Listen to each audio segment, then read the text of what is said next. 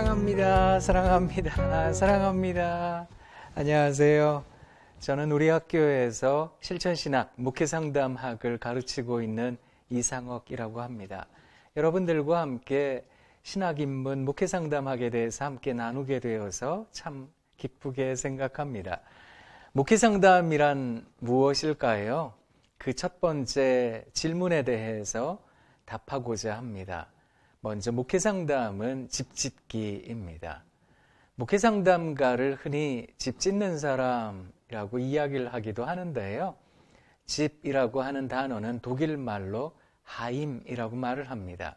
혹은 홈 영어로 그렇게 표현하기도 하는데 이 집을 우리는 하나님의 나라라고 생각을 합니다.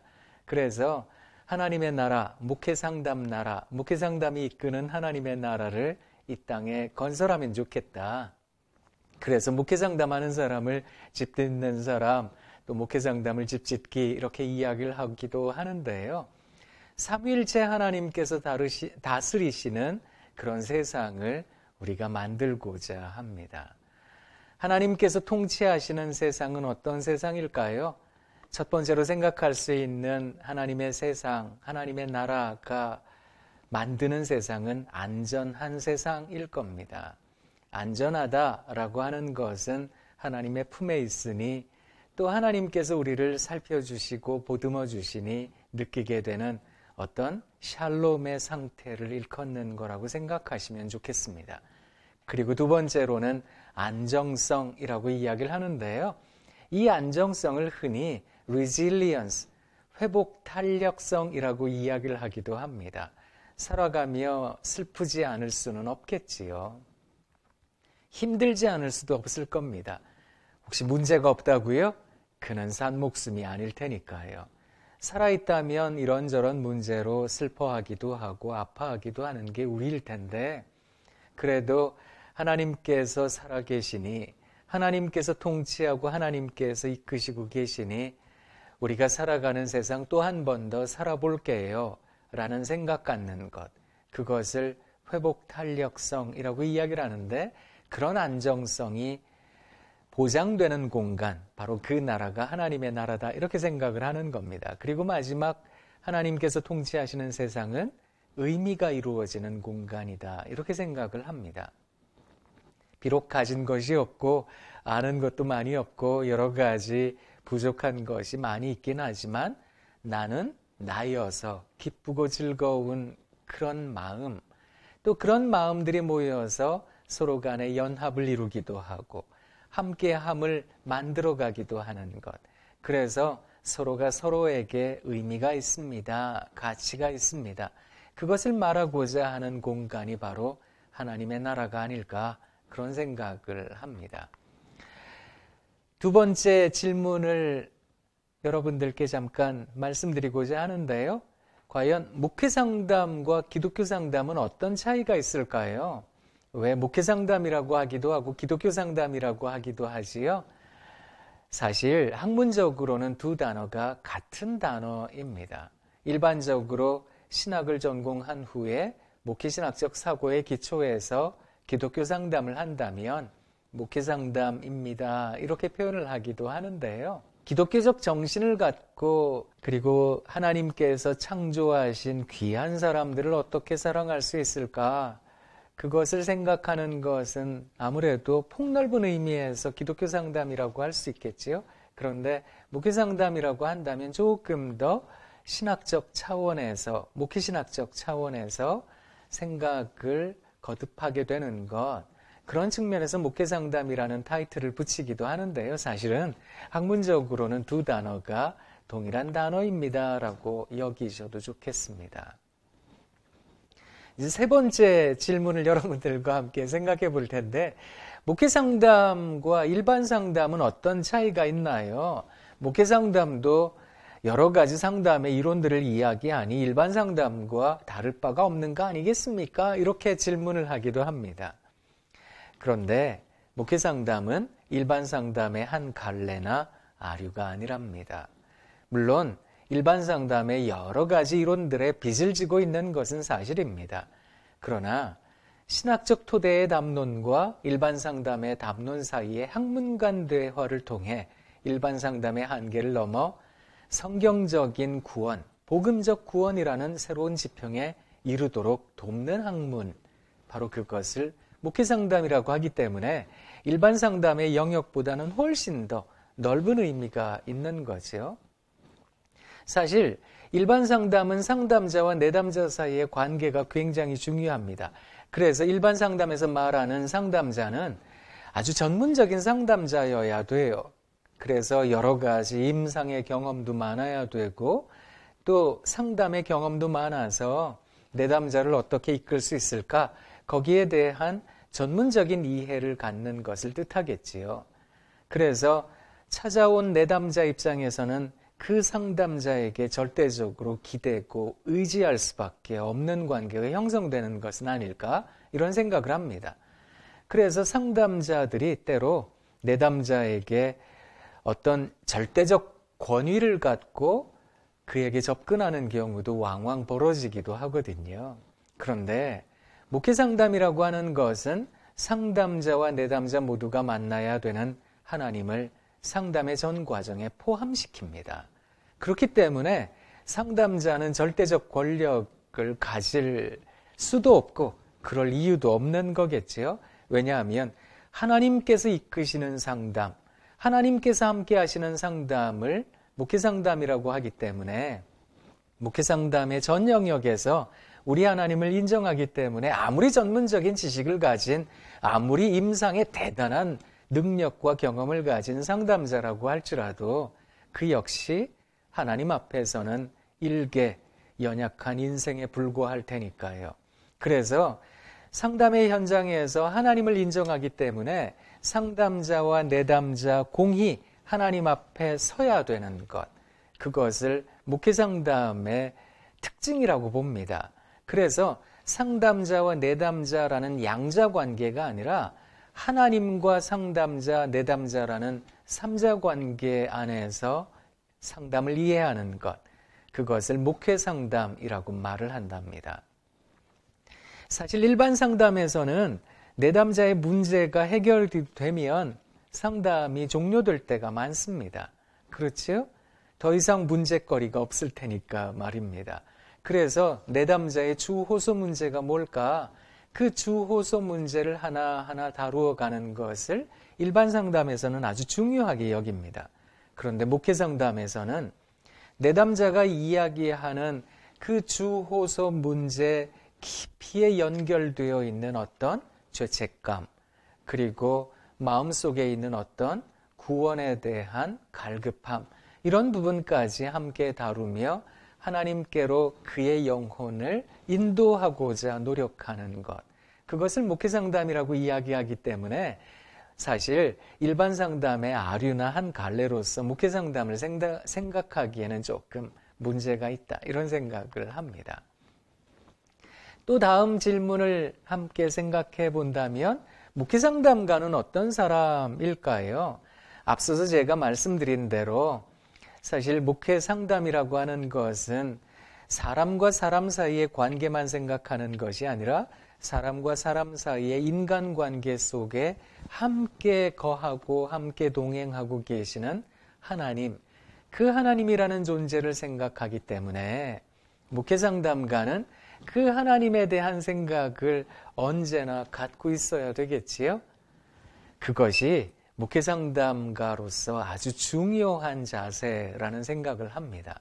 목회 상담가는 하나님을 잘 믿는 사람이어야 합니다. 그 말을 바꾸어서 이야기를 하자면 우리가 지금 처한 상황, 우리가 지금 처한 여건, 우리의 처지에 매몰된 듯 함몰되어서는 안 된다라는 겁니다. 그런 사람이 목회 상담가가 되어서는 안 되겠지요. 찾아온 내담자의 어려운 심정과 가슴 아픈 상처를 들으며 하나님을 떠올리실 수 있으셔야 되겠지요. 그래서 목회 상담가는 어떤 의미에 있어서는 언제나의 삶의 여정 속에 그리고 특히 상담의 과정 속에 하나님을 주의 깊게 생각할 수 있어야 되겠습니다.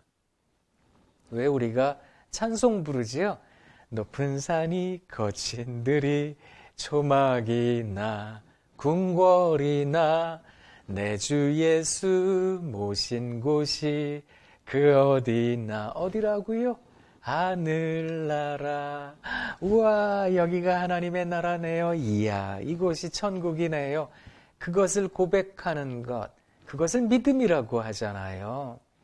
믿음이라고 하는 것은 보지 못하는 것들의 증거 이거든요. 나는 지금 당장 보질 못하지만 그런데 본다. 또 지금 듣질 못하고 있는데 듣는다 라고 이야기하는 것이 믿음의 속성이기도 합니다. 지금 당장 내가 살아가고 있는 곳이 궁전이라면 여기가 천국이에요 라고 고백하는 건 누구에게나 당연한 일이겠지요. 그런데 생각해 보세요. 지금 당장 거친 들을 걸어가고 있고 높은 산을 올라가고 있고 초막에 살아가고 있다면 여기가 천국입니다 라고 말을 한다는 건 이건 비상식적인 일이고 이게 비논리적인 일이 되는 거잖아요. 그런데 믿음은 그것을 가능하게 하는 거거든요. 사실 우리들의 눈이 떠져야 되는 게 아닐까? 이런 생각을 해요. 십자가, 십자가 내가 처음 볼 때에 나의 마음에 큰 고통 사라져 오늘 믿고서 보세요. 내눈 밝았네. 우와, 밝아졌어요. 참 내 기쁨 영원하도다. 우와, 어떻게 기쁨이 영원해질 수 있을까요? 그건 눈이 밝아져야 된다는 거거든요. 기쁨이라는 단어를 우리는 흔히 오해할 때가 있어요. 내가 원하던 게 이루어졌을 때 느껴지는 어떤 정서라는 것으로 이해할 때가 있거든요. 그런데 그게 다일까요?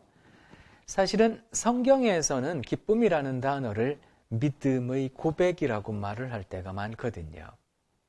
그래서 믿는 사람들은 자기의 처지, 환경, 여건에 휘둘려서 함부로 절망하거나 실망하는 게 아니라 우리 하나님 살아계시니 하고 이야 하나님의 나라예요. 이야 하나님께서 통치하고 계세요. 그래서 안전함도 누리고 안정성도 누리고 의미도 발견하는 거거든요. 그렇다면 우리들의 눈이 떠지고 귀가 열리고 그래야 되는 거 아닐까? 또 그러한 상태로 이 세상을 살아가는 것이 바로 믿는 사람의 특징이 아닐까. 사랑하는 여러분, 혹시 하늘에 떠가는 구름에게서 이야기 들어보신 적이 있으세요? 귓가를 스치며 지나가는 바람에게서 먼 나라 이야기 들어보신 적은 있으신지요? 그런데 그게 진짜로 들리면 안 되고요. 제가 지금 환청에 대한 이야기를 하고 있는 게 아니라 믿음에 대한 이야기를 여러분들에게 드리고 있는 중이거든요. 믿는 사람들에게는 어쩌면 시인들의 마음과도 같은 그런 넉넉함, 그런 세상에 대한 통찰이 가득한 것은 아닐까? 이런 생각을 해봅니다.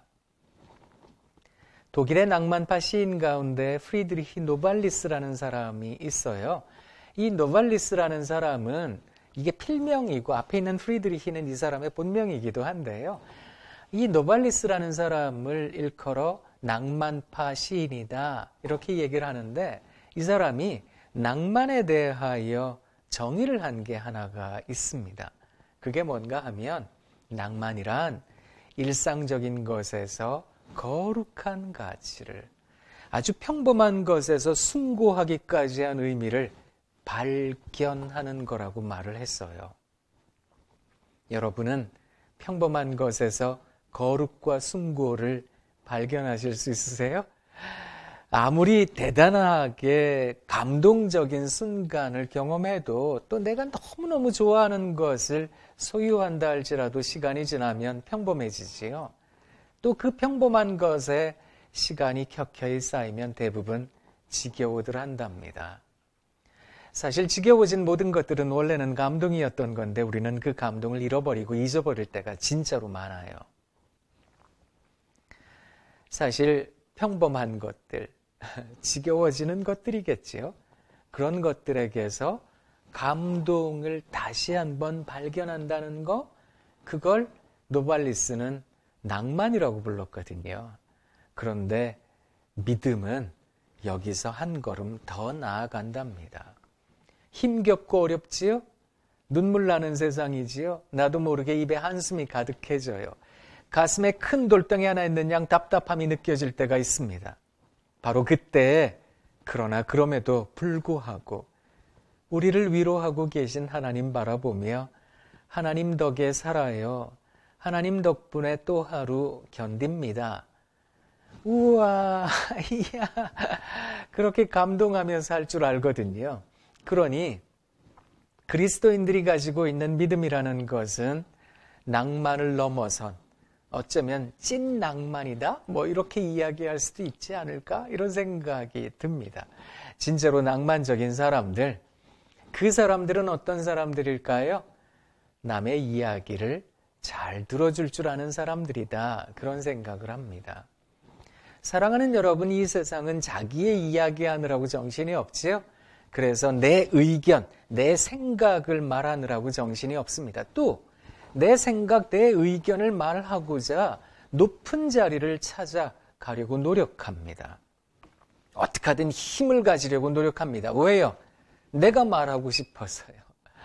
그런데 우리가 조금 다른 방향을 갔습니다. 사실 힘을 잃어버린 사람들은 말을 잃어버린 사람들이 되거든요.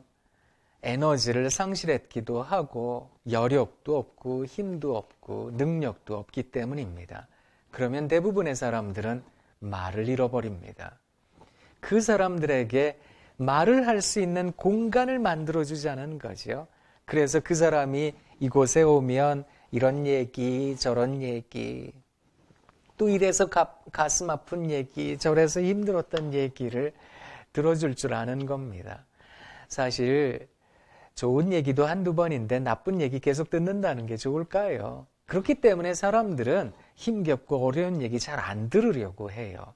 그런데 목회 상담가들은 누군가의 이야기를 잘 듣는 사람들입니다. 그의 이야기를 듣고 있자니 나도 불안해져요. 나도 힘들어져요. 나도 눈물 날 것 같아요. 사람은 스스로가 한계가 있기 때문에 불안정성, 불안, 이런 것들 싫어하거든요. 태생적으로 좀 거부하려는 마음이 있어요. 그런데 목회 상담가들은, 기독교 상담가들은 힘들고 어려운 사람들, 그래서 나도 불안해지려고 하는 것을 지향하려고 합니다. 왜 그럴까요? 바로 그 사람에게 위로의 공간을 만들어 주고자 함입니다. 그래서 목회 상담가를 일컬어 희망의 에이전트입니다. 이렇게 얘기를 하는 겁니다. 희망이라고 하는 것은 낙관과 달라요. 낙관이라는 것은 내가 기대할 때, 내가 바랄 때, 그래서 어느 정도 예상이 될 되는 것을 낙관이라고 얘기를 할 때가 많거든요. 내가 이 정도 학교에 갔으니까 이 정도 직장에 가겠지? 이 정도 직장에 갔으니 이렇게 결혼하고 이렇게 잘 살 거야. 라고 생각하는 것. 낙관입니다. 그런데 희망이라고 하는 것은 예측이 안 되는 거죠. 예상이 안 되는 겁니다. 이래서 이렇게 될 거야 라고 전혀 생각할 수 없는 상황에서도 한 번 살아보지요, 뭐. 한 번 그래도 지내볼게요. 라고 생각하는 것. 그것을 희망이라고 말하는 거거든요. 제가 희망을 잘 이야기하는 시인의 시 한 편 들려드리려고 해요. 천상병 시인의 나무라는 시인데요. 제가 한번 읽어드리도록 하겠습니다. 사람들은 모두 그 나무를 죽은 나무라고 그랬다. 그러나 나는 그 나무가 죽은 나무는 아니라고 그랬다. 그 밤 나는 꿈을 꾸었다. 그리하여 나는 그 꿈 속에서 무럭무럭 푸른 하늘에 닿을 듯이 가지를 펴며 자라가는 그 나무를 보았다. 나는 또다시 사람들을 모아 그 나무가 죽은 나무는 아니라고 그랬다. 그 나무는 죽은 나무가 아니다. 시인의 시가 조금은 이상하게 들리지는 않으세요? 사람들이 모두 다 그 나무가 죽었다고 그러는 거예요. 그런데 나는 그 나무 안 죽었어요. 안 죽었어요. 이야기를 한 거예요. 그 마음이 얼마나 가슴에 사무쳤던지 그 밤 그가 꿈을 꾸었습니다. 그런데 그 나무가 얼마나 무럭무럭 잘 자라는지 푸른 하늘까지 닿을 듯이 가지를 펴며 자라가는 그 나무를 보았던 거예요. 잠에서 깬 시인이 사람들을 또 막 불러 모았어요. 여기 오세요. 이리 와 보시라고요. 내가 꿈꿨는데요. 이 나무 죽은 나무 아니에요. 그 나무 죽은 나무 아니라고요. 소리를 친 겁니다. 사람들이 뭐라 그럴까요? 너 꿈꾼 거야. 정신 차려. 잠에서 좀 깨. 라고 말하지 않을까요? 어쩌면 그 마음, 그 마음을 목회 상담가의 마음이라고 이야기를 하는 것 같습니다. 세상 사람들이 뭐라고 할지라도 그의 아랑곳하지 않고 힘겹고 어려운 사람들을 도울 줄 아는 마음 말입니다. 제가 옛날 얘기 하나 들려드릴게요. 일본에 가면 굉장히 유명한 선사 한 분이 있는데 이분이 학구인이라는 분이라고 해요. 이분이 얼마나 경건하고 얼마나 훌륭한 좋은 선생님인지 그래서 사람들이 그의 말이라면 팥으로 매주를 쓴다라고 해도 믿을 정도라고 했다고 하지요.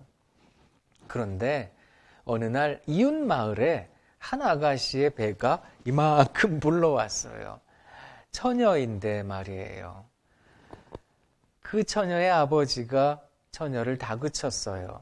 그 아가씨에게 막 얘기를 했어요. 도대체 누가 이렇게 한 거냐? 너 도대체 누가 이렇게 한 거냐? 이실직고 하라고. 이 아가씨가 당장의 어려움에서 벗어나고자 연마을 아주 고결한 인생을 살고 있었던 학구인이라는 이름을 대게 됩니다. 그 아버지가 얼마나 대노했는지 온 마을 사람들을 다 데리고 학구인에게 찾아갔어요. 그리고 나서 망신을 준 거죠. 네가 어? 이 아가씨를 이렇게 해서 되겠느냐? 심지어 이 아빠 어떻게 한지 아세요? 아가씨가 아기를 출산을 했어요. 그 아기 핏덩이를 들고 학구인에게 가서 던져주면서 네가 낳게 했으니 네가 키워. 그리고서 막 또 망신을 준 거예요. 그때 학구인이 뭐라 그랬는지 아세요? 한마디 했다고 해요. 아, 그렇습니까?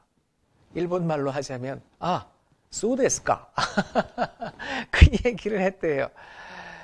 그리고 나서 이 학구인이 받아든 아기를, 뭐 자기는 젖을 먹일 수 없는 남자니까, 이 마을, 저 마을 다니면서 젖동량을 다닌 거예요. 우리 애기 젖 좀 더 주세요. 사람들이 얼마나 손가락질 했겠어요. 그렇게 애기를 막 젖을 먹이면서 키우고 있었어요. 근데 이 애기 엄마가 가슴이 너무 아팠던 거죠. 아니, 내 애기 아닙니다. 라고 부정할 줄 알았는데, 그러면 다시 그 애기를 받아다가 자기가 키울 거라고 생각했는데, 그 애기를 받아다가 키우니까 이 애기 엄마가 얼마나 마음이 아팠겠어요. 미안하기도 하고. 그래서 자기의 아버지에게 이실 짓고 합니다. 사실은 학구인이 아니라 우리 동네에 어떤 청년과 사랑한 거였다고. 이 아버지 또 대단하시죠? 자기가 잘못한 걸 알자마자 온 마을 사람들을 다 데리고 가가지고 또 사실을 밝혀야 되잖아요. 그래서 학구인에게 백배 사죄하고 아기를 다시 돌려받았다고 합니다. 그때 학구인이 뭐라 그랬는지 아세요? 아, 소데스까? 아, 그렇습니까? 그리고서 다시 아기를 돌려줬다고 합니다. 우리는 세상의 평가, 사람들의 소문에 울고 웃고 할 때가 많습니다. 저도 그럴 때가 많거든요. 억울한 누명을 썼다. 억울하게 사람들에게 나쁜 말을 들었다. 얼마나 힘들어요. 그런데 그 순간에도 희망을 놓지 않는 겁니다. 진실함을 잃지 않는 겁니다. 그리고 어려움도 살고 힘든 것도 살고 불안도 살고 상처도 살고 그리고 내 앞에 있는 사람에게 이야기에 공간을 마련해주고 그리고 그 사람 이야기를 들으며 위로의 대사가 희망의 에이전트가 되려고 노력하는 겁니다. 그 사람을 바로 목회 상담가입니다. 이렇게 얘기를 합니다. 이제 조금 더 깊이 있는 질문을 하자면 목회 상담의 학문적 가능성은 무엇입니까? 라는 질문인데요. 학문으로서 목회 상담은 신학과 사회과학인 심리학 혹은 상담학 사이의 담론인 학문간 담론으로 출발합니다. 이게 굉장히 중요한 학문적인 정체성을 나타내는 거예요. 이걸 흔히 학제성이라고 이야기를 하는데요. interdisciplinarity라는 단어로 표현을 합니다. interdisciplinary, interdisciplinarity라고 하는 말은 그 말이 뜻하는 바 그대로 학문과 학문 사이의 담론, 학문과 학문 사이의 관계성 이라는 개념으로 생각을 하실 수 있으실 거예요. 단지 이것과 이것을 합해 놓은 게 아니고 또 이것과 이것 사이에 좋은 것들만 취사 선택한 것이 아니라 이것과 이것 사이의 관계가 완전히 새로운 학문성을 나타내게 된다라는 뜻에서 학제성이라는 개념을 말을 한답니다. 그래서 학제성에는 다양한 가능성이 존재하는데요. 양자 사이에 상호 보완성, correlation 그것이 있다거나 혹은 서로 간의 담론이 형성되려면 상호 변형, transformation 변형이 있어야 한다거나 혹은 양자 사이에 이성적이며 교차적인 교류를 전제하거나 해야 한다거나 이게 양자 사이 이성적 교차적 교류를 조금 어렵게 transversal, transversality 뭐 이런 얘기를 하거든요. 그래서 시실과 날실의 개념에서 서로 간에 교차되는 그 지점에서 어떤 지성이 발생되지 않을까 이런 얘기를 하는 겁니다. 혹은 예술적인 관계로 보아야 한다거나 아트로 생각을 하는 거죠. 혹은 미학적인 관점에서 에스테릭이라고 얘기를 하는데요. 그 에스테릭스라고 하는 미학적인 측면에서 아름다움이라는 측면에서 바라보아야 되는 것이 아닐까. 다양한 가능성을 이야기하기도 합니다.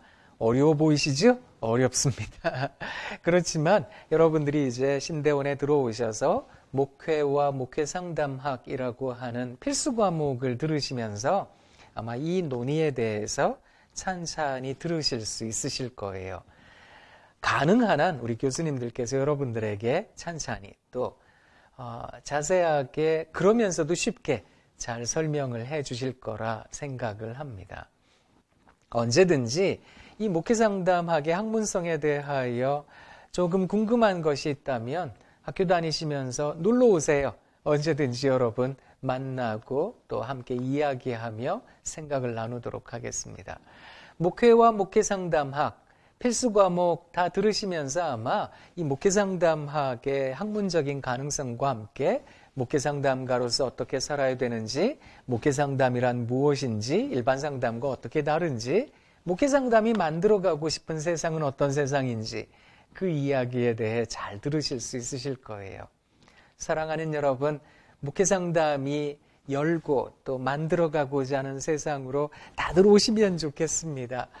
언제든 여러분을 기다리고 있겠습니다. 사랑합니다. 사랑합니다. 사랑합니다. 지금까지 목회 상담학이었습니다. 고맙습니다.